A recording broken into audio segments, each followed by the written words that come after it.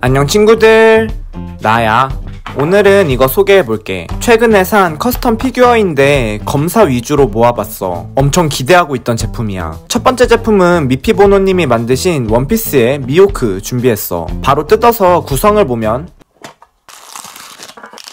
피규어 하나 모자 흑도 두 개, 밑판으로 이루어져 있어. 진짜 예쁘지? 피규어부터 볼 텐데, 일단 미호크의 코트를 조형으로 너무 멋스럽게 만들어주신 점이 너무 좋았어. 보통은 천으로 만들어주는데, 조형으로도 너무 예쁘게 잘 나왔더라. 전체적인 프린팅도 디자인 자체는 좋았는데, 조금 아쉬웠던 점이 있다면, 프린팅 상태가 아쉬웠어. 머리 윗부분을 보면, 모자를 착용하는 부분은 프린팅이 안 되어 있고, 전체적인 프린팅이 살짝 흐릿한 느낌? 다음은 밑판 하나 있는데 64개 중에 26번째 피규어인 것 같아. 나름 깔끔하게 디자인되어 있더라. 모자를 보면 일단 모자도 조형 하나는 정말 멋있어. 모자와 결합되어 있는 가발이나 깃털 조형까지 원작에서 나온 느낌을 너무 잘 살려줬더라. 근데 모자도 도색이 조금 아쉬운데 도색되어 있는 곳 사이사이에 기포가 조금씩 들어가 있어. 다음은 흑도인데 사실 원래 구성은 한 개지만 내가 조금 더 긴 버전으로 따로 주문해봤어. 정말 조형 하나 하나는 기가 막힌 것 같아. 원작의 느낌을 너무 잘 살려서 만들어주셨더라. 자세히 보면 칼날도 나름 디테일하게 나와줬지만 개인적으로는 손잡이 디테일이 레전드급으로 잘 나온 것 같아. 여튼 합체해주면 이런 느낌으로 연출해줄 수 있어. 솔직히 전체적인 느낌만 보면 미호크 그 자체야. 조형 하나는 정말 기가 막히게 만들어주셨더라. 도색이랑 프린팅이 살짝 아쉽기는 하지만 개인적으로 가격 대비 정말 만족스러운 제품이었어. 가격이 custom 피규어 치고는 정말 합리적이야. 마지막으로 피규어와 loose들의 조합이 너무 만족스러운 것 같아. 두 번째 피규어는 미니피그 팩토리에서 발매한 귀멸의 칼날에 등장하는 상현 1 코쿠시보 custom 피규어야. 바로 개봉해서 구성을 보면 피규어 하나, 가발, 무기, 명판, effect parts 두 개로 이루어져 있어. 구성이 생각보다 알찬 것 같아. 피규어부터 볼 텐데 일단 전체적인 프린팅이 상당히 깔끔하게 나왔더라. 양팔에 달려있는 기모노를 표현한 조형도 너무 좋았고 개인적으로 코쿠시보는 얼굴 프린팅이 어떻게 나올지 정말 궁금했는데 생각보다 멋스럽게 나와준 것 같아. 얼굴도 two face로 두 가지 표정을 연출해줄 수 있고 전체적인 균형이 잘 잡혀있는 느낌이었어. 다음은 명판인데 80개 중에 49번째 피규어인가봐. 특별한 건 없고 그냥 이렇게 생겼더라. 가발은 무난하게 나와주기는 했는데 앞머리를 조금 더 디테일하게 만들어줬으면 싱크로율이 더 좋아졌을 것 같아. 개인 취향이지만 앞머리가 너무 넘어가 있는 느낌이 들었어. 무기를 보면 개인적인 생각이지만 솔직히 레고치고 이 정도로 나와준 거면 상당히 만족스럽게 나온 것 같아. 저 검이 원작에서 코쿠시보의 몸으로 만들어진 걸로 알고 있는데 무시무시한 느낌을 잘 살려줬더라. 마지막으로 코쿠시보의 달의 호흡과 혈 기술을 사용할 때 나오는 이펙트 파츠야. 두 개로 나누어져 있는데 조형이 상당히 멋스럽게 나와줬어. 바로 합체해주면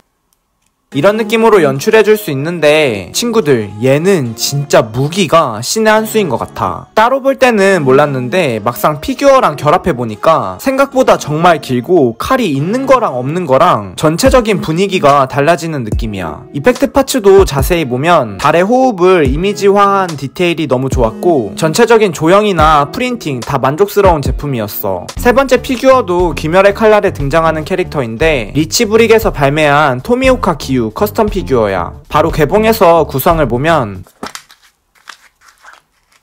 피규어 하나, 무기, 여분 헤드, 명판, 물의 호흡 effect parts로 이루어져 있어. 피규어부터 보면 custom 피규어인 만큼 전체적인 프린팅 디자인이나 도색 quality가 상당히 예쁘게 나와줬어. 리치 브릭은 사실 처음 구입해봤는데 구하기 힘들었던 만큼 만족도가 높은 것 같아. 얼굴도 기본적으로 two face로 되어 있고 기유 특유의 반반 하오리까지 상당히 디테일하게 프린팅으로 표현되어 있더라. 명판은 95개 중에 73번째 피규어 마크가 들어가 있고 자세히 보면 명판까지 레고 정품 제품으로 만들어져 있어. 다음은 가발인데 개인적으로 너무 깔끔하게 나와준 것 같아. 조형적으로도 기유 특유의 뻗친 머리를 원작과 상당히 비슷하게 표현해줬고 도색도 딱히 흠잡을 곳 없었어. 물의 호흡 전용 effect parts도 있는데 살짝 파도 같은 느낌으로 무난하게 나와준 것 같아. 실제로 보면 진짜 예뻐. 여분 헤드도 있는데 기유의 충격받은 귀여운 표정이랑 화난 표정을 연출해줄 수 있거든? 근데 여기서 엄청난 gimmick이 숨겨져 있는데 이따가 보여줄게. 다음은 기유의 일륜도인데 기본적인 형태는 칼과 칼집이 결합되어 있지만 이렇게 칼과 칼집을 분리해 줄 수 있어. 칼을 자세히 보면 생각보다 디테일이 상당히 좋은데 실제 원작에서 표현되어 있는 악귀 멸살이라는 한자가 저 작은 레고 무기에 표현되어 있어. 손잡이까지 상당히 깔끔하게 표현되어 있고 바로 합체해주면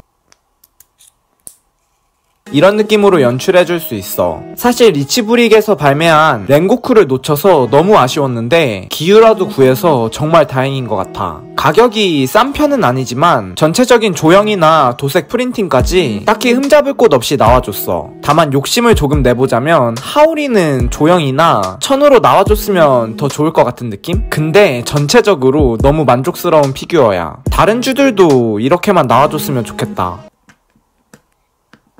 여기서 이런 느낌으로 여분 헤드를 교체해 줄 수 있는데 UV light를 비춰주면 레전드급 분위기를 연출해 줄 수 있어. 얘들아 이건 진짜 실제로 봐야 해. 얼굴에는 기유의 반점 몸통에는 dragon 프린팅이 숨겨져 있는데 진짜 너무 예뻐. 이제 오늘의 마지막 제품인데 데이드림 브릭에서 발매한 블리치의 아이젠 소스케야 바로 개봉해서 구성을 보면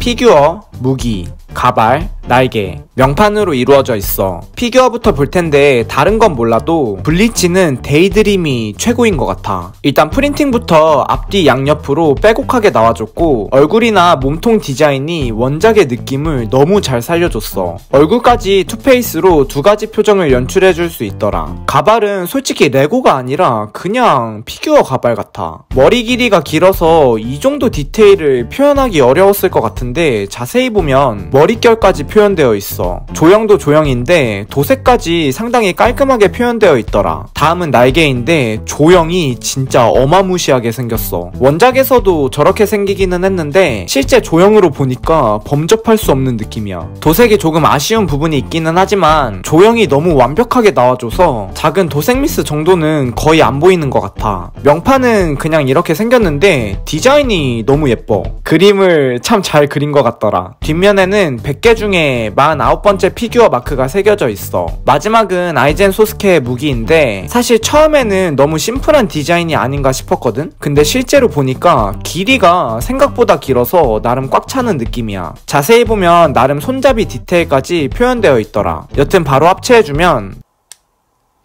이런 느낌으로 연출해줄 수 있어. 사실 내가 블리치를 본 적이 없어서 아이젠 소스케가 뭐하는 캐릭터인지는 모르지만 내가 봤을 때 블리치의 멋짐을 담당하고 있는 캐릭터 같아. 진짜 캐릭터에 대해서 하나도 모르고 샀는데 디자인 하나로 지갑을 열게 만드는 피규어더라. 전체적으로 봤을 때 조형과 프린팅 모두 흠잡을 곳 없었고 특히 몸통과 자석으로 결합되는 날개가 상당히 인상 깊었어.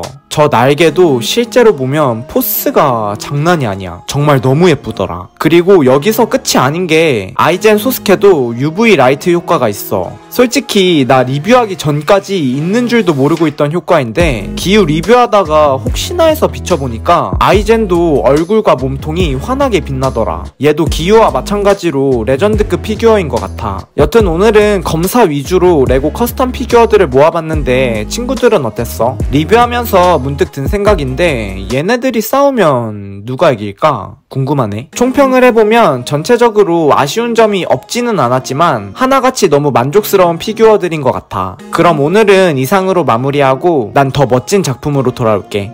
친구들, 안녕!